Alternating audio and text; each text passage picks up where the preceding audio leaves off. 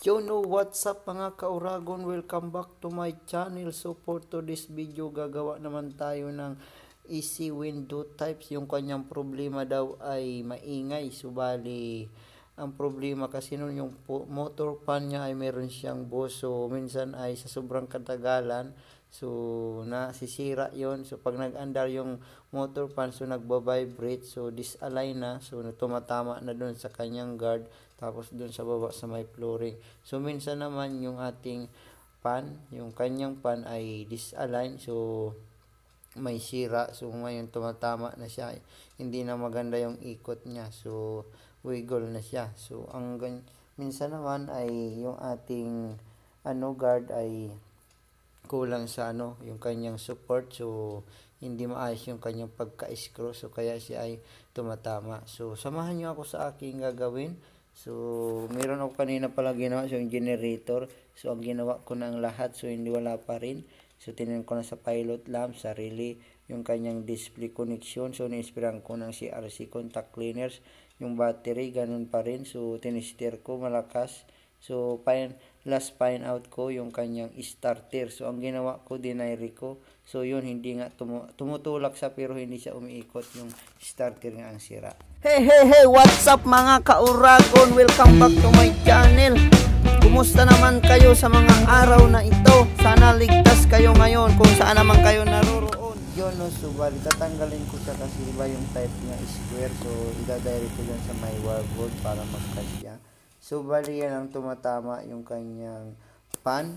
Yung kanyang pan ay tumatama dun sa may flooring kasi yung kanyang bushing ay nasira na. At yung kanyang support, yung kanyang bracket dyan ay hindi maayos yung pagkalagay ng screw kaya ay tumatama. At, ito naman na isa, yung wire niya ay tumatama dito sa may pipe dyan, may gas-gas na. So, ang ginawa ko, wala akong cable tie. So, ang ginawa ko ay alambre na lang. So, iano ko siya, itatali ko siya papunta doon din sa kanyang wire doon papunta sa may isang wire. So, kailangan ko kasi itali ito kasi pag di ko tinali, masasayang yung preyon, mabubuta. So, bali, walang preyon na stock. So, papabili naman. So, mabuti na lang nakita ko yung kanyang wire na sumasabi, sumasagi doon sa kanyang wire. Yan, yan tinali ko na at para hindi na masagi. So, pag nasabi yan, so, mabubutas siya. So, mag-welding, okay lang mag-welding, meron naman gas. So, walang preyon. So, hindi siya magamit. So, yan, may gas-gas yung kanyang pan. So, tumatama dun sa kanyang flooring. At saka yung kanyang guard ay tumatama kasi wala siyang yan sa may bushing ay sira na. So, ang ginawa ay nilagyan ng kanyang washer para humigpit. Para pag nag-andar, hindi siya magbabibrate, di gagalaw-galaw. At yung kanyang bracket ay hindi masyadong maayos yung pagkalagay ng screw. Kaya ay siya ay gumagalaw. So, yan okay na siya. So, hinigpitan lang yung kanyang bushing at nilagyan ng washer. Wala na siyang tunog. So yan, di na siya tumutunog.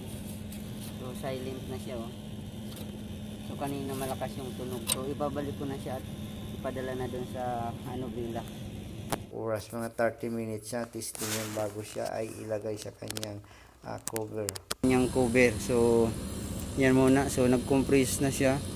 So titesting ko muna siya. So bali para malaman ko kung hindi na talaga siya gagalaw para sigurado. So hindi pa balik-balik yung trabaho.